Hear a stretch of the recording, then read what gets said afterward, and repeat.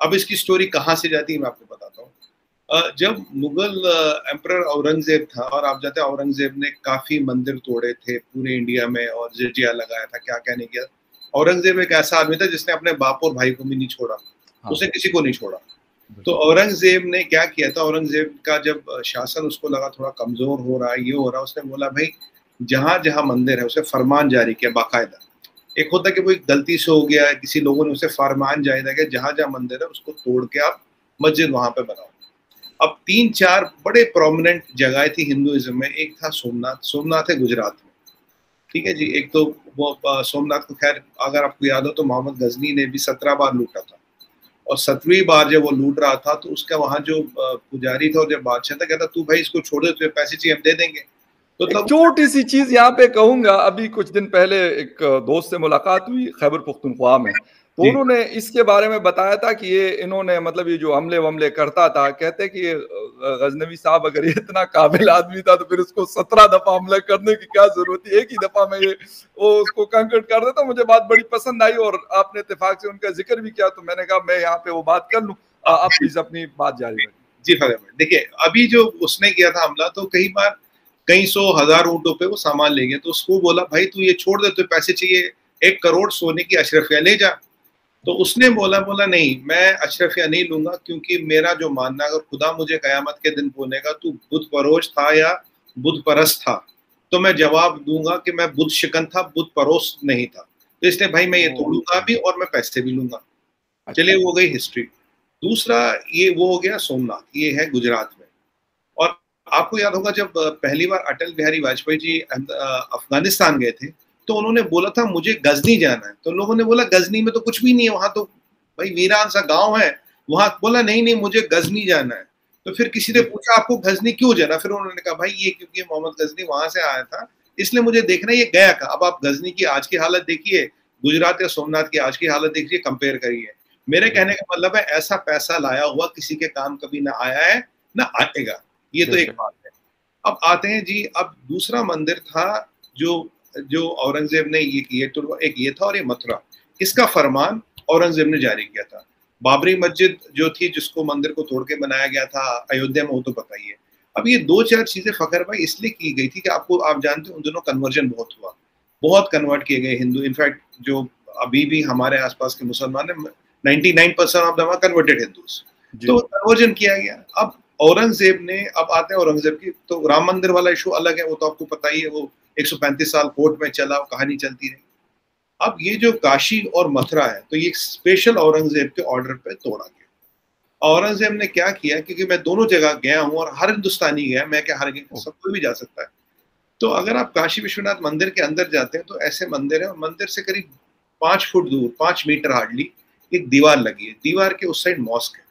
पहले ये सारा मंदिर था और अगर आप आज भी इंटरनेट पे इमेज डालें सर्च करें औरंगज़ेब ने कहा था मंदिर तोड़ो मंदिर की दीवारों पे ही उसने गुंबद लगा दिया ऐसे जो गोल सा वो लगाते हैं हम्म। और मस्जिद में कन्वर्ट किया। ऐसा नहीं उसके पास ईंट गारे की कमी थी। ईंट थी गारा सब कुछ था but he wanted to send a message उसने उसको मैसेज बनी थी। वैसे वही उसने स्टाइल मथुरा में भी किया। अगर आप दोनों जगह जाओगे तो राम मंदिर के केस में तो आर्कोलॉजिकल सर्वे की पड़ी थी और जो आर्कोलॉजिकल सर्वे के बॉस थे जिन्होंने ये फाइंडिंग की वो भी मुसलमानी थे खान साहब। तो जिन्होंने खुदाई वुदाई की तो बाय द वे ये मैं बोलना ज़रूरी है। अब फकर भाई उन्होंने जब यहाँ पे आपको क्लियर ये जो चीज़ मैं बता रहा हूँ ये आपको दिखती है आपको से या कोई दिक्कत है नहीं। अभी जो आपने सुना होगा काशी विश्वनाथ का कॉरिडोर बढ़ाया गया मोदी जी ने इनोग्रेशन किया था उससे क्या किया? मान लीजिए ये कॉरिडोर है तो इसके आसपास इसको ऐसे छोड़ा किया गया और गंगा जी तक लाया गया।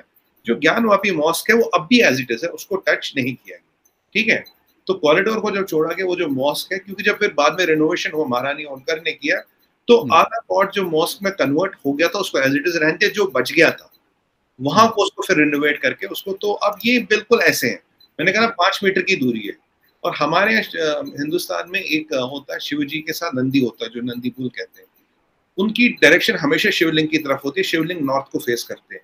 यहाँ आपको एक वाहिद ऐसा शिव टेंपल दिखेगा जो मिलियन ऑफ़ शिव टेंपल है इंडिया में दुनिया भर में। Where Nandi looks the opposite direction क्योंकि पहले वहाँ शिवलिंगा था जिसको तोड़ा गया था।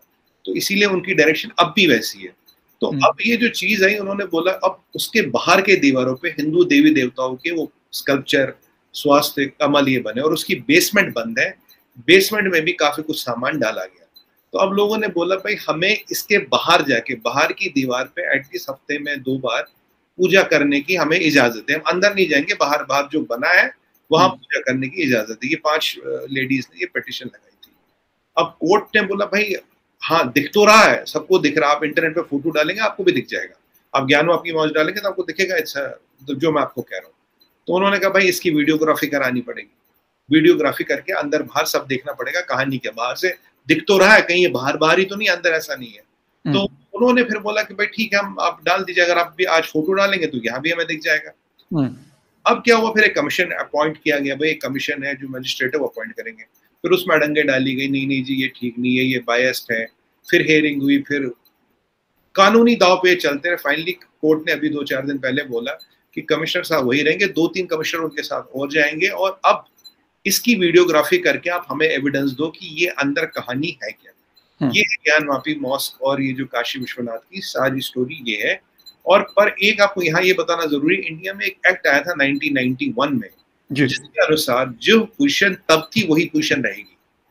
वो पोजिशन यूनियमसली चेंज नहीं होगी जबकि एक कमीशन आया था उसने ऐसे फखर भाई चवालीस हज़ार फोर्टी फोर थाउज़ेंड जगह आइडेंटिफाई की है उनको चिन्हित किया गया था गवर्नमेंट का कमीशन था जिसने ये बताया भाई यहाँ मंदिर को तोड़ के मस्जिद बनाई गई है। कैसे चवालीस जगह?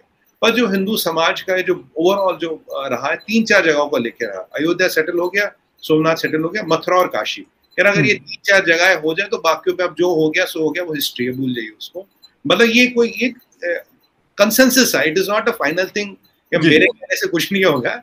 मतलब मैं ये कंसेंसस सा बना था। अभी पर उसमें भी मतलब उसमें भी बात बनी नहीं। अब ये जो कोर्ट का फैसला आया है उसको चौदह या सत्रह मई को सत्रह मई तक या अभी हाल फ़िलहाल में एक सर उनको एक रिपोर्ट देनी है। हाँ ये जो आप देख रहे हैं एक रिपोर्ट देनी है। ये अगर आप इस फ़ोटो को थोड़ा बड़ा करें आप मैं इसको सोलो पे कर देता हूँ। हाँ आप कर दीजिए मैं बता देता हूँ तो ये जो आप ये जो देखेंगे बाहर में लेफ़्ट साइड में आपको मंदिर के पिलर मंदिर की नक्काशी कार्रवाई दिखाई ये दिखाई देगी। जी जी बिल्कुल। ठीक है ना? तो इसी के ऊपर मस्जिद का गुंबद लगाया गया था औरंगज़ेब ने। ये हम्म। किया था डन विद पर्पज इसी के सामने काशी विश्वनाथ मंदिर है।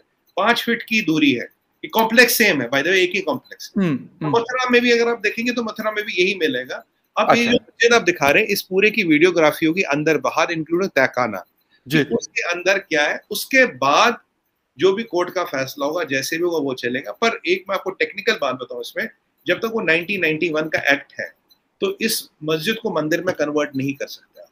ये मस्जिद मस्जिद ही रहेगी। हाँ शायद कोर्ट आपको बाहर के जो आउटर वॉल्स है कुछ है वहाँ एक या दो दिन जाके एक पूजा करने की अनुमति दे। आप you might be given permission to worship there क्योंकि वहाँ एक एक श्रृंगार गोरी की रसोई है मानी जाती है कि माता की रसोई वहाँ है जिसको श्रृंगार गोरी की कि आपको उसकी परमिशन दी जाएगी। या तो वो एक्ट रिपील हो। अब दिक्कत क्या फकर भाई जो मुझे दिख रहा है कि अगर ये चीज़ यहाँ होती नहीं है या कोई कंसेंसस नहीं होता कि कहीं ये चीज़ बढ़ के हर जगह पे ना जाए ये हमारे नेशनल टीवी पे आजकल नंबर वन टॉपिक है। मैं कहीं डिबेटों पे बोल रहा हूँ मैंने यही बोला कि भाई ये अगर तीन चार जगह सेटल करके कंसेंसस बनता है वो सबसे अच्छी बात है।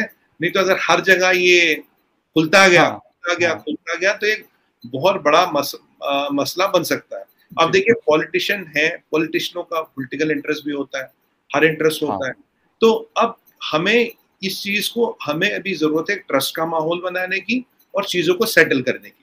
राधा दिन चीज़ों को ऐसे खोलने की। ये मेरा पर्सनल ओपिनियन है इसको जी। अच्छा एक चीज़ और भी है। मैं कुछ दिन पहले पढ़ रहा था कि ताजमहल के ऊपर भी किसी ने गालिबन पिटिशन डाला हुआ है कि इस इधर कोई गालिबन मूर्तियाँ पड़ी हुई हैं या कोई और चीज़ है। उस एप्लीकेशन को तो आई थिंक सो खारिज किया गया उसको डिसमिस किया गया। लेकिन क्या वजह है कि लोगों को लगता है कि इस किस्म की चीज़ें एक हो सकते हैं मतलब बहुत सारी चीज़ें जो आप जिस तरह इधर